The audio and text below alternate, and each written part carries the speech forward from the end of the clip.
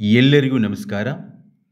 ಒಂಬತ್ತನೇ ತರಗತಿಯ ಸಮಾಜ ವಿಜ್ಞಾನ ಕಲಿಕಾ ಚೇತರಿಕೆ ಎರಡು ಸಾವಿರದ ಇಪ್ಪತ್ತೆರಡು ಇಪ್ಪತ್ತ್ಮೂರು ಕಲಿಕಾ ಹಾಳೆ ಮೂವತ್ತ್ನಾಲ್ಕು ಕಲಿಕಾ ಹಾಳೆ ಮೂವತ್ತ್ನಾಲ್ಕರ ಉತ್ತರಗಳನ್ನು ಈ ವಿಡಿಯೋದಲ್ಲಿ ನೋಡೋಣ. ಮೊದಲಿಗೆ ಕೇಂದ್ರ ಕಾರ್ಯಾಂಗದ ಬಗ್ಗೆ ತಿಳಿದುಕೊಳ್ಳೋಣ.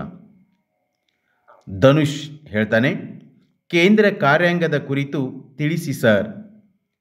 ಡಾಕಪ್ಪ ಗೌಡ್ರು ಹೇಳ್ತಾರೆ, ನಿಮ್ಮ ಟೀಚರ್ ನಿಮಗೆ ಆಟದ ನಿಯಮ ಯಾರು ಗಮನಿಸುತ್ತಾರೆ ಅಂತ ಹೇಳಿದ್ರಲ್ಲ? ನಿಮ್ಮ ಶಾಲೆಯಲ್ಲಿ ಟೀಚರ್ ನಿಯಮಗಳನ್ನು ಜಾರಿ ಮಾಡ್ತಾರಲ್ಲ, ಹಾಗೆ ಕೇಂದ್ರ ಶಾಸಕಾಂಗ ರೂಪಿಸುವ ಕಾಯ್ದೆಗಳನ್ನು?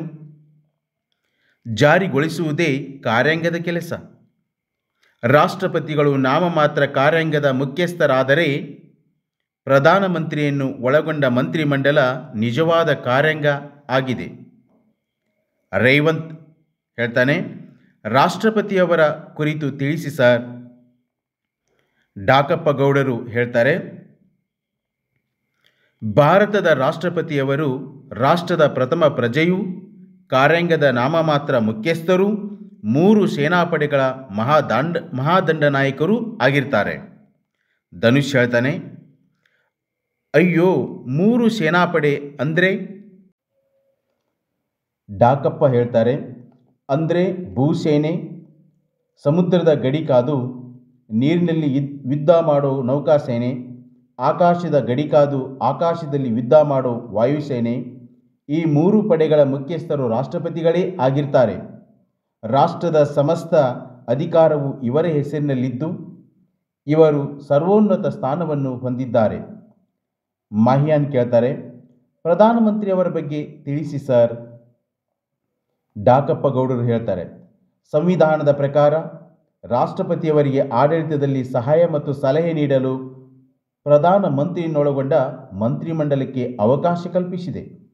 ಆದರೂ ಪ್ರಧಾನಿಯವರೇ ಆಡಳಿತದ ಕೇಂದ್ರ ಬಿಂದುವಾಗಿದ್ದು ರಾಷ್ಟ್ರದ ಸಮಗ್ರ ಆಡಳಿತವನ್ನು ನಿರ್ವಹಿಸುವ ಅಧಿಕಾರವನ್ನು ಹೊಂದಿದ್ದಾರೆ.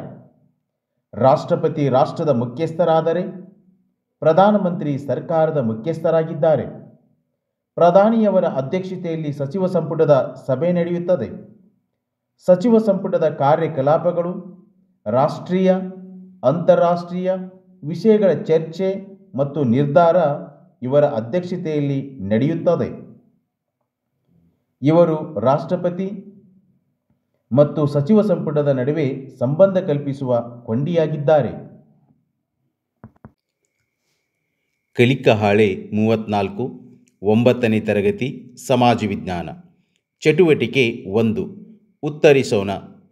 ಕೇಂದ್ರ ಕಾರ್ಯಾಂಗ ಎಂದರೇನು? ಕಾನೂನುಗಳನ್ನು ಅನುಷ್ಠಾನಕ್ಕೆ ತಂದು, ಸರ್ಕಾರದ ನೀತಿಯನ್ನು ಜಾರಿಗೆ ತರುವ ಅಂಗವನ್ನು ಕಾರ್ಯಾಂಗ ಎನ್ನುವರು. ಕಾನೂನುಗಳನ್ನು ಅನುಷ್ಠಾನಕ್ಕೆ ತಂದು, ಸರ್ಕಾರದ ನೀತಿಯನ್ನು ಜಾರಿಗೆ ತರುವ ಅಂಗವನ್ನು ಕಾರ್ಯಾಂಗ ಎನ್ನುವರು. ಎರಡನೇ ಪ್ರಶ್ನೆ ನೋಡೋಣ. ಕಾರ್ಯಾಂಗದ ನಾಮಮಾತ್ರ ಮುಖ್ಯಸ್ಥರು ಹಾಗೂ ನಿಜವಾದ ಮುಖ್ಯಸ್ಥರು ಯಾರು? ಕಾರ್ಯಾಂಗದ ನಾಮಮಾತ್ರ ಮುಖ್ಯಸ್ಥರು ರಾಷ್ಟ್ರಪತಿ. ಕಾರ್ಯಾಂಗದ ನಿಜವಾದ ಮುಖ್ಯಸ್ಥರು ಪ್ರಧಾನಮಂತ್ರಿ. ದೇಶದಲ್ಲಿ ಸರ್ವೋನ್ನತ ಸ್ಥಾನವನ್ನು ಹೊಂದಿರುವವರು ಯಾರು? ದೇಶದಲ್ಲಿ ಸರ್ವೋನ್ನತ ಸ್ಥಾನವನ್ನು ಹೊಂದಿರುವವರು ರಾಷ್ಟ್ರಪತಿ. ನಾಮಮಾತ್ರ ಕಾರ್ಯಾಂಗದ ಮುಖ್ಯಸ್ಥರು ಯಾರು? ರಾಷ್ಟ್ರದ ಸಮಗ್ರ ಆಡಳಿತ ನಿರ್ವಹಿಸುವ ಅಧಿಕಾರ ಯಾರಿಗಿದೆ? ನಾಮ ಮಾತ್ರ ಕಾರ್ಯಾಂಗದ ಮುಖ್ಯಸ್ಥರು ರಾಷ್ಟ್ರಪತಿ. ರಾಷ್ಟ್ರದ ಸಮಗ್ರ ಆಡಳಿತ ನಿರ್ವಹಿಸುವ ಅಧಿಕಾರ ಪ್ರಧಾನಮಂತ್ರಿ ಮತ್ತು ಮಂತ್ರಿಮಂಡಲಕ್ಕಿದೆ.